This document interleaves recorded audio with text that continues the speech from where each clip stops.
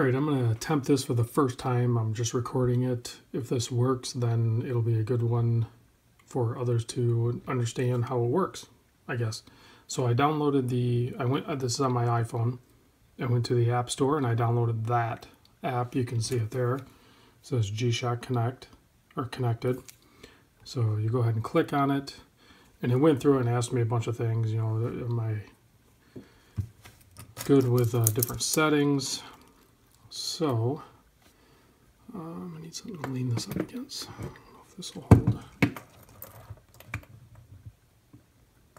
You can see. So it's asking for the um, number on the back of the case.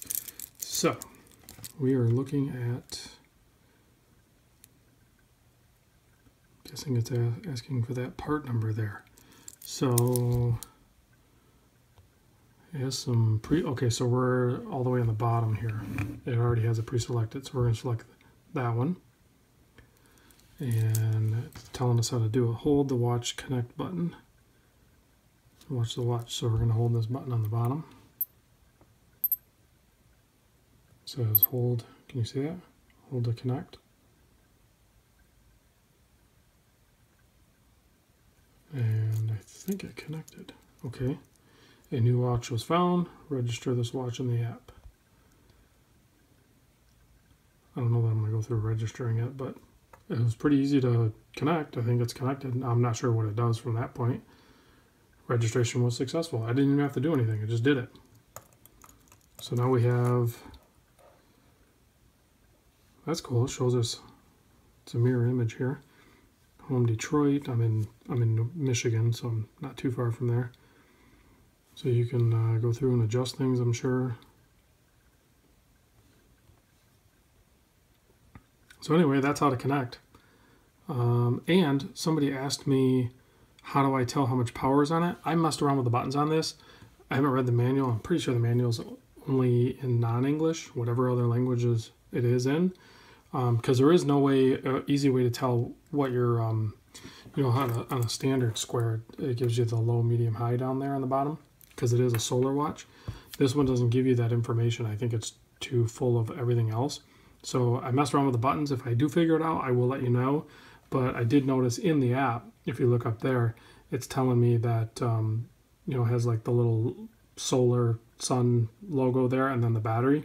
You can see it's almost full. So I'm guessing that would be considered a high charge. So that is one way to tell in the app with this guy.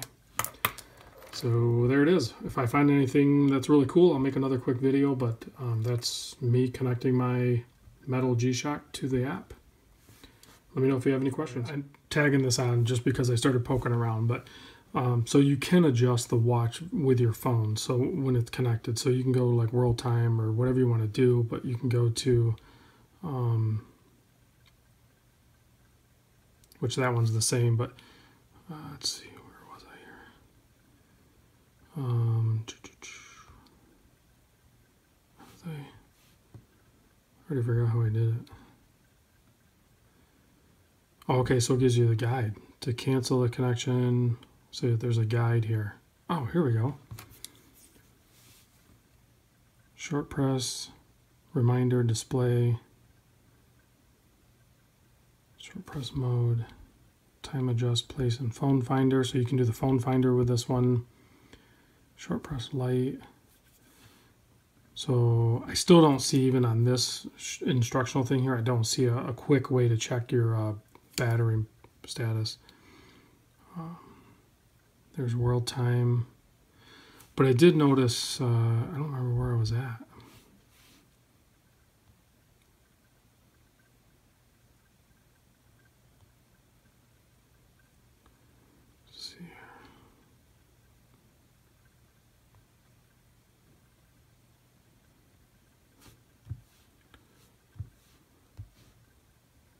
Yeah, here it is. Okay, so if you clicked on it, so now it brings up um, a world map. So you can kind of scroll through. So say you want to, say I was going to travel, um, ah, let's go to Vegas. So I want to go to Vegas, so I can select Vegas, and then I can set this to the watch. And because it is connected, it's automatically going to change the, the time. So like if you're traveling or whatever, so you don't have to mess around with it, you can just do it right through the app real quick. I'm assuming it'll. Well, didn't really change the time. Or did it?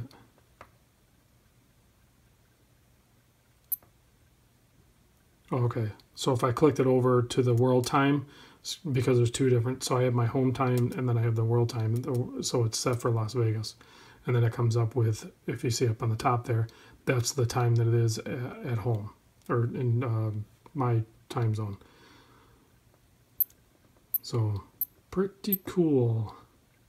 And then there's back to my original home screen, which is where I'll keep that. So anyway, pretty cool toy, fun to play around with. If you have one, definitely definitely connect it to the app. I think there's a little bit of a learning curve, but once you get there, it's going to give you um, some easier to use options rather than fiddling around with the buttons on the watch. Which the buttons on the watch are big, so it's not that's not a deal breaker. But once you learn this format, I think it's pretty cool. So.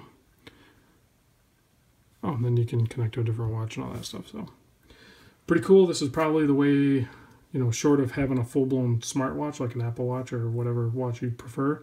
Um, this is kind of a cool way to add in some of the function of that without going full-blown smartwatch. So see you on the next vid.